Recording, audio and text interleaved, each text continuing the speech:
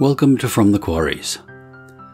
Tonight's video, an essay on the mysteries and the true object of the Brotherhood of Freemasons, has an interesting backstory. It was first published anonymously in French in 1774, and then was found by W. H. Rees in the mid 19th century, who published an English translation in 1862. It takes the form of a letter to an anonymous Monsieur de la H. In his preface to the work, Rees explains how he discovered the text in an old bookshop in London in the 1850s and adds The motives which Freemasonry requires shall actuate every candidate for initiation into its mysteries, a general desire for knowledge, and a sincere wish to render himself more extensively serviceable to his fellow creatures. One of the objects of the writer of this essay, of which the following is a free translation, appears to have been to show the uninitiated that the latter of the motives above mentioned forms truly a fundamental part of the institution of Freemasonry. That being said, I hope you enjoy the presentation. Good evening and welcome to tonight's presentation From the Quarries an archive of Masonic lore.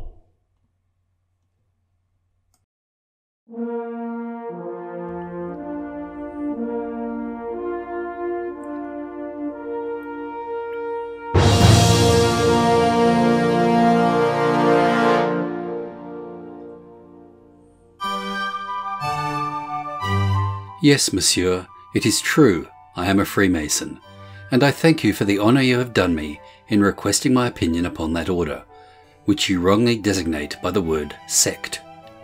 I do not ignore anything which the silly fancy of weak and presumptuous minds has devised on the subject of the gravest and most respectable society which has ever existed upon the earth. Those who know all the underhanded dealings of such persons have great reason to reflect on the illusions of the human mind and upon the judgments which the profane multitude form. I undertake, with all my heart, to satisfy you and to withdraw you from error, and by giving you an idea as true as it is rational of the order of the Freemasons. The enlightenment of the present age is sufficient to prove to us that man is depraved, and that it is to society alone we must attribute the cause. The corruption of education, the excessive inequality of fortunes, and still more the passion for power and authority, have vitiated in the human heart the primitive sentiments of nature and have rendered it wretched and unhappy. A certain metaphysical code, filled with as much with sophistries and errors as it is considered sublime and rational, has, on the other hand, misled the minds of men. The founders of the Masonic Society proposed to themselves no other end than that of restoring man to his primitive goodness, and of causing a revival in his heart of the laws of nature in their greatest perfection. Religion has had the same end in view, and it is likewise that which the municipal laws propose in all the governments of the earth. It is Freemasonry alone which has understood the best means of accomplishing this. The aim of that society is, then, to make man humane, rational, virtuous. In order to effect this, it is fought to dissipate his errors, to soften his manners by the innocent pleasures of life, and to assist and comfort him in his wants. The members of that society are all brothers, who are not distinguishable by the language they speak, nor by the garments they wear, by the opinions they hold, nor by the dignities and fortunes they possess. Equality is their primary law. Following this system, the whole world is looked upon by them as a republic, of which each nation is a family and each individual a son. The individuals of that society, being all brothers, and brothers who make a profession of being rational and virtuous, have an express duty to love and aid each other reciprocally, to conduct themselves with uprightness and honesty towards other men, and to be good and faithful citizens of the state. This order, destitute of all coercive force, has no other support than that of moral force. It is then under the necessity of making its members sensible and virtuous. It is from that its other laws are derived, which have for their sole object union, order, harmony, decency of manners, tranquillity of mind. To prevent these things being altered, they have been obliged to forbid the presence of women in their meetings, without ceasing at the same time to honour them. It is, for the same reason, expressly forbidden to discuss in lodge any point of theology or of politics, or even to speak of them, or to use obscene and indecent words. Truth, justice, prudence, moderation, good faith, charity are the virtues which ought to reign in the heart of a Freemason. Without saying anything more, you can easily understand that the institution and the end of this respectable society is to improve man and perfect his morality. In the best regulated civilized society, you will not find any law which supports in a similar manner its individuals and assists them in their wants. We see often that the virtuous man, full of merit, groans under the weight of oppression and unhappiness. But the constitution of the Order of Freemasons is such that each of its members ought to find a sure and efficacious support in the society of which he forms a part, and in the authority of the brethren who compose it. An unfortunate man who is oppressed by power, by calumny, and by hatred is often lost for want of succour. Is he a Freemason? It will be easy for him to find in every nation a country, brethren, protectors, and sometimes even a fortune. Humanity, that fine and noble virtue which embraces all others, which is the object of sound philosophy, and which is the support of the Christian religion, is the soul of Freemasonry. Divine and tranquil friendship, lovely passion of the wise and virtuous, in which is to be found the true happiness of life, is a mask for all men whilst it is a duty among Freemasons. It unites them by the easy ties of beneficence and decent pleasures. And we must only regard as a permitted relief those moments which they take to withdraw themselves from the affairs of business and the malice of mankind in passing some hours of the night in innocent labours and in merry repasts in company with honest and joyous friends. We must not judge the Society of Freemasons solely from its mysteries, its language, its customs, its emblems. Men are sensible beings who conduct themselves more by lively impulse of fancy than by the cold calculations of reason. Reasonings are only good for those among them who are very rational, and when they do not nourish the imagination, they are more often arid and devoid of attraction. One is sometimes obliged to have resource to these wholesome prejudices, which in the human heart have so much strength that they supply the place of law and virtue. The ancient priests of Isis and Eleusinian Ceres made use of symbols, figures, and superstitious ceremonies to correct vices and abuses. A society which has but moral force ought then, by a wise prudence, to make use of those symbols and mysteries which, better than anything else, can produce in the heart and the mind of its members sentiments capable of making them love their labours and their duties. In effect, these symbols and mysteries are the principal nourishment of the human mind. The fool is dazzled by them, the inquisitive man is lost and confounded. It is the philosopher alone who perceives with an internal satisfaction the expression of his principles and his ideas. If these mysteries make sometimes fan- fanatical enthusiasts, the skilful and judicious man enjoys in silence the advantage Freemasonry procures for him. The aim of the Masonic mysteries is then to refresh the mind, to preserve harmony, and to form the heart. The allegory of this society is ingenious and well sustained.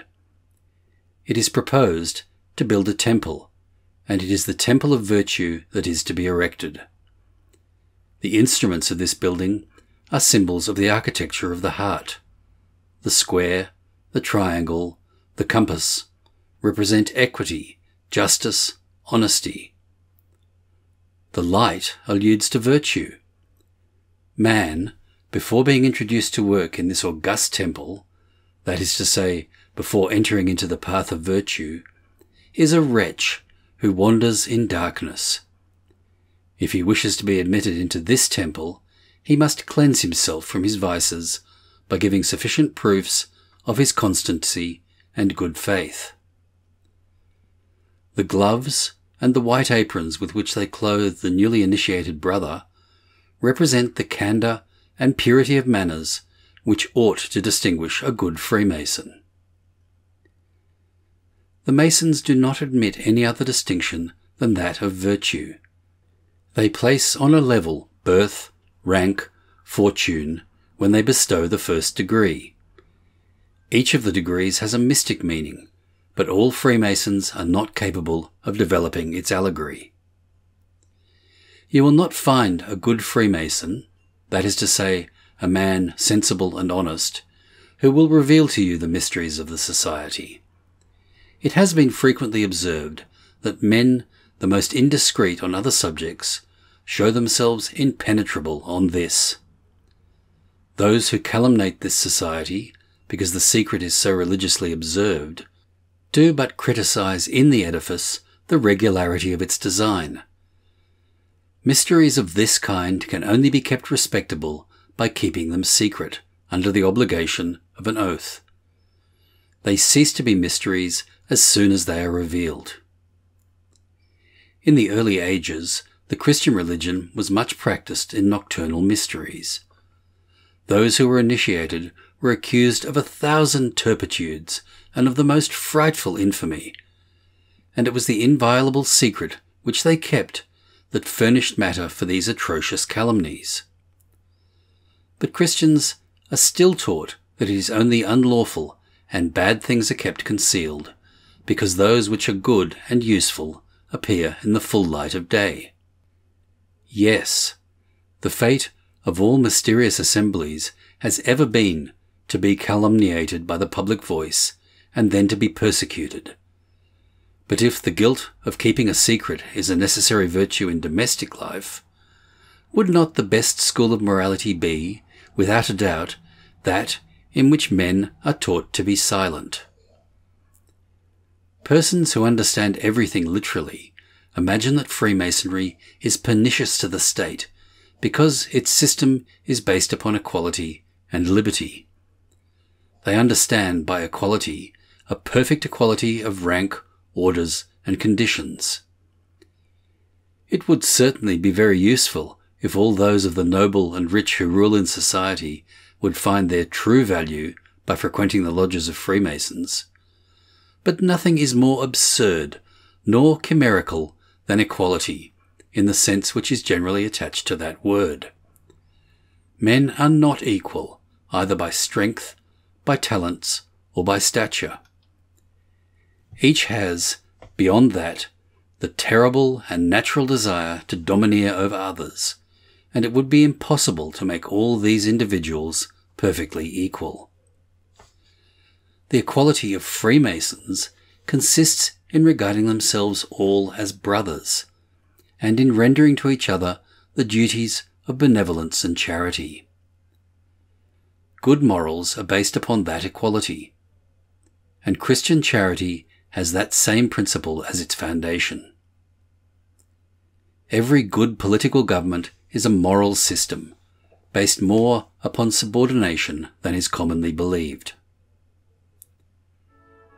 The judgment we bring to bear upon liberty is equally unjust. It is generally thought that the doctrine of Freemasons has independence of the law for its aim, and that it regards civil subordination as a yoke which dishonours humanity.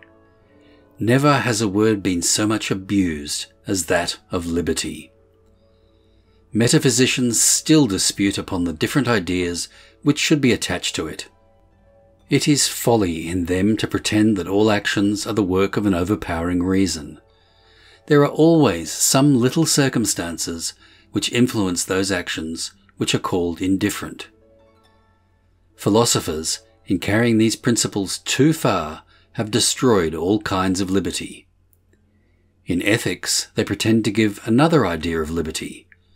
Man is born subject to the laws of nature.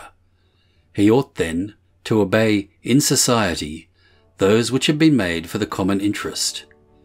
Everyone finding his safety, his personal advantage, his happiness in that dependence. The man truly free is he who is rational and virtuous, that is to say, he who obeys the laws and fulfills his duty. And it is clear that equality and liberty are, in the moral sense, equivalent expressions. Every just and moderate government is based upon liberty, since its true end is to guarantee to each citizen the free and tranquil exercise of his faculties. And, in that sense, liberty is a right which all men have received from nature with their existence, for, so that it ought to be permitted for each to use freely his right in fulfilling all the duties of civilized society. Even in love, the sentiment cannot be perfect or real if it be not free. The system of Freemasonry is entirely opposed to irregularity and licentiousness, and admits of no other liberty than moral liberty. The lodges are called free in consideration that virtue ought to be encompassed by love, and that it cannot be either solid or true if it be not practiced with a free will and with freedom. It is precisely for this that the workmen of the Temple of Virtue are called in Italy liberi muratori.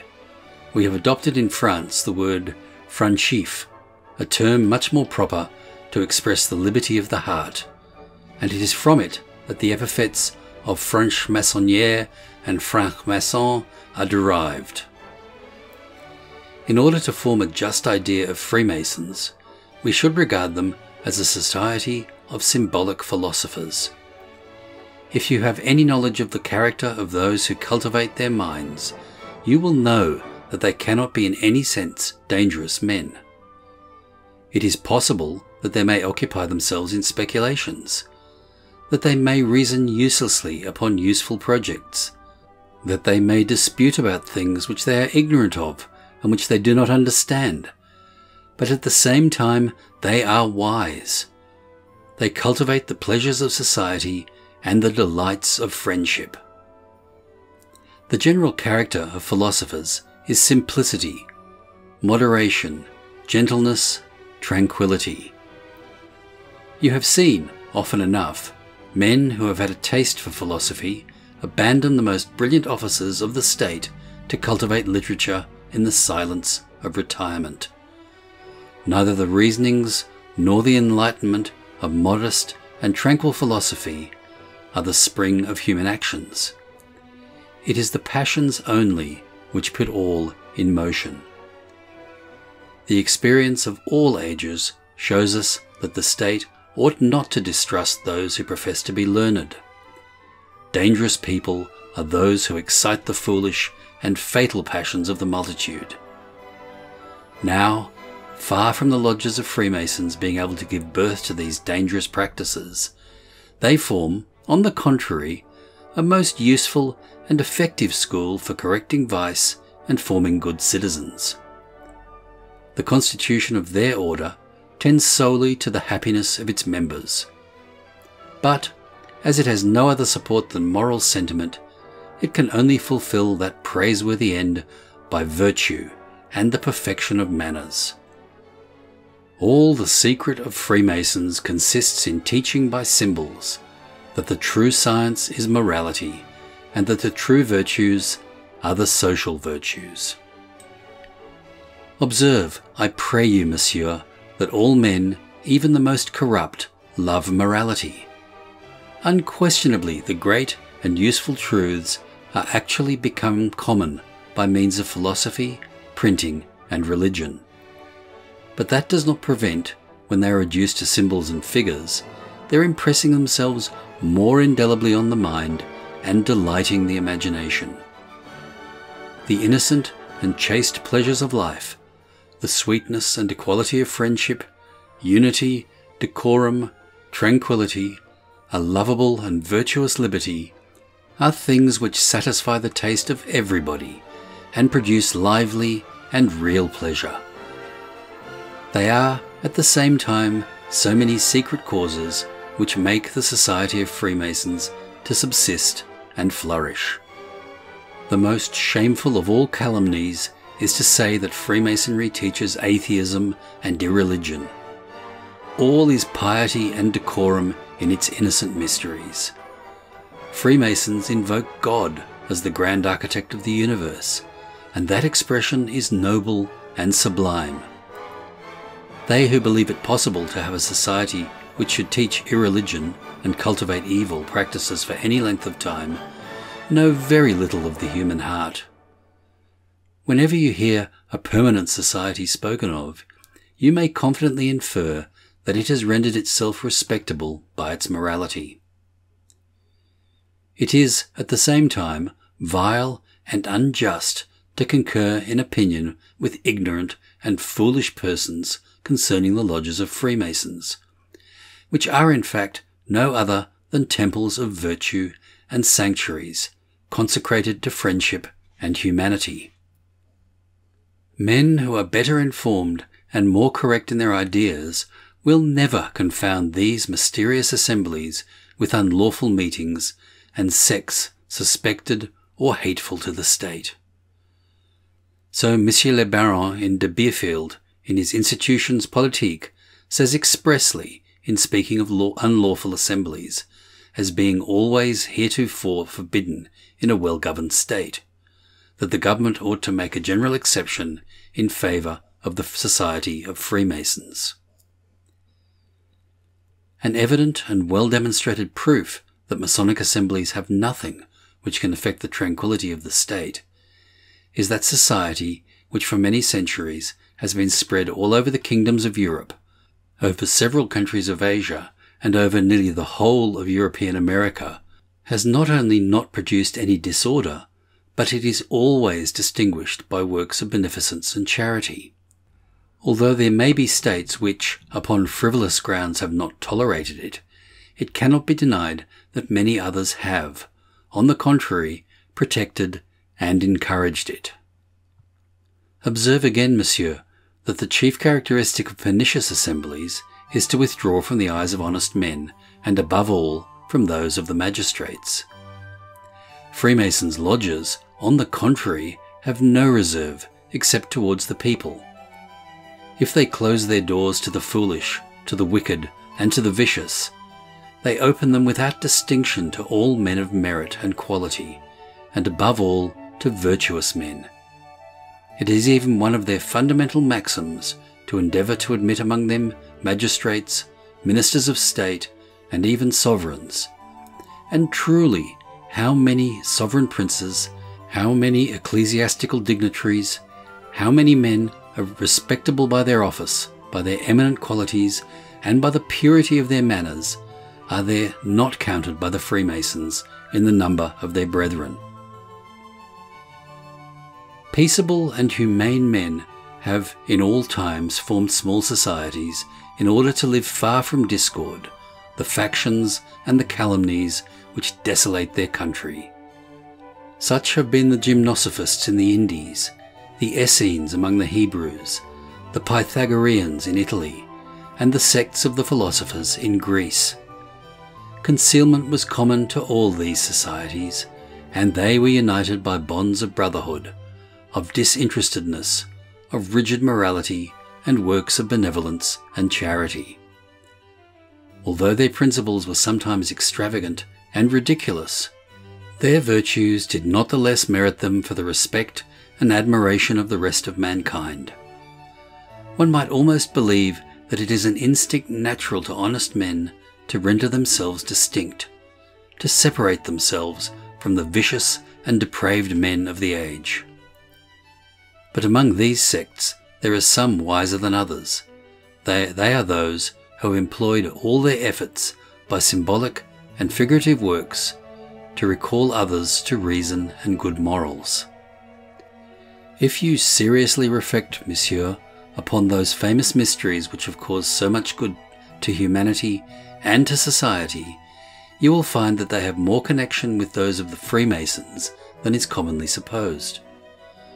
As far as the ancients have enabled us to judge, it appears that they concealed all the mysteries under the veil of a most profound secrecy, and for that object, and in order to inspire the initiated of greater veneration for the mysteries, they agreed only to celebrate them in the holy shades of night. They religiously kept the most profound silence. The spectacle was grand and noble, and we know from Maximus of Tyre that it was of a nature to afford a new and delicious pleasure. Admission to participation in those mysteries was called by the Greeks perfection, and by the Latins initia, because the mysteries contained the principles of a tranquil and happy life. It was necessary to pay a certain sum for these initiations, and the candidates were submitted to some rigorous examinations. They were proved by three perilous journeys. They purified them by water, by blood, and by fire. They caused them to catch a glimpse of a thousand confusing and frightful objects, and to hear extraordinary voices. From the most horrid darkness they passed into places light and agreeable, to the light, light being the symbol of truth. The, the initiated had first signs and then words by which they recognized each other, and the Greeks called them symbols. They took an oath of silence and, above everything, of keeping these mysteries inviolably secret. He who had the indiscretion to reveal them was looked upon as a sacrilegious person, a traitor and a monster. He was banished from society and sometimes punished with death. They admitted to these mysteries persons of all grades and of both sexes. The greatest men of antiquity were initiated in them. They cried with a loud voice to warn off the profane, Usite o profani, which was the general formula of all the mysteries. Vagrants, homicides, and generally all the impious and wicked were excluded from them. They did not admit the Epicureans, and from that example, Freemasons interdict atheists from entrance into their lodges. The mysteries were communicated by degrees. Each degree had its peculiar ceremonies, and it was not until after many proofs of morals and of conduct that they admitted anyone to perfect initiation. They sang various hymns, which it is generally understood did not contain any allusion to the mysteries or their symbols. We see clearly enough that the general spirit of that wholesome institution was to discipline mankind, to console man in his misery, to help him by its benefits, and to teach him the arts necessary for his subsistence. The lodges of Freemasons may then, like the ancient mysteries, be very useful and salutary. They may become a noble school of learning and morals to aid more than is supposed the laws and religion. But it is in the nature of all things human that institutions, the most advantageous, are not always exempt from disorder and abuse. It has not always been possible to prevent some men, whose conduct was not the wisest nor the best regulated, being admitted into the order of Freemasons. From this, it has happened that the temple of virtue has sometimes been profaned by false brethren. But if this has caused disorder and abuse in the society, it has only produced in the minds of wiser brethren derision and contempt. Institutions which may be prejudicial to civilized society demand always very serious animadversion. As for the institution of Freemasonry, which may be the most useful and consoling for more mankind, it is desirable that it should be protected in every country by the authorities, and that, under the direction of a wise chief, many of its formalities and ceremonies might be corrected and its mode of government in some respects reformed. I have the honour to be, etc., etc.